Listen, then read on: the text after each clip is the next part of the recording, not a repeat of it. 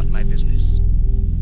I don't want to rule or conquer anyone. I should like to help everyone if possible. Jew, Gentile, black man, white. We all want to help one another. Human beings are like that. We want to live by each other's happiness, not by each other's misery. We don't want to hate and despise one another.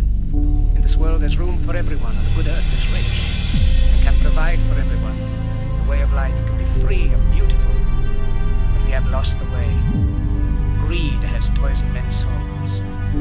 barricaded the world with hate, has goose-stepped us into misery and bloodshed.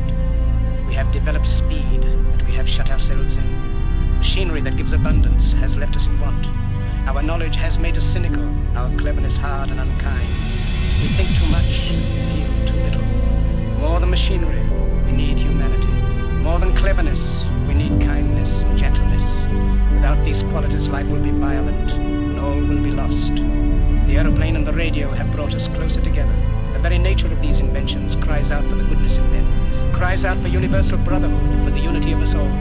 Even now, my voice is reaching millions throughout the world. Millions of despairing men, women, and children, victims of a system that makes men torture and imprison innocent people. Those who can hear me, I say, do not despair. The misery that is now upon us is but the passing of greed,